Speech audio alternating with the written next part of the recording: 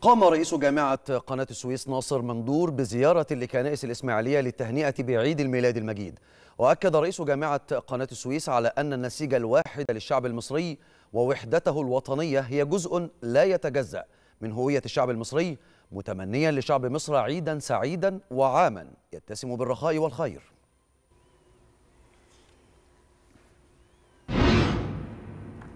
النهارده بنزور الكنيسة الإنجيلية في الإسماعيلية.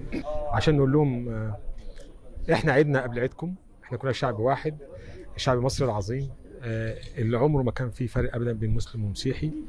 يا رب يجعل اعيادنا يا رب وأيامنا كلها أعياد وسعادة وصحة تحت قيادة السيد الرئيس آه، عبد الفتاح السيسي. يا رب إن شاء الله العام القادم يكون أزاح هذه الغمة عشان نعرف نحتفل في الكنيسة يوم العيد وقبل العيد وبعد العيد.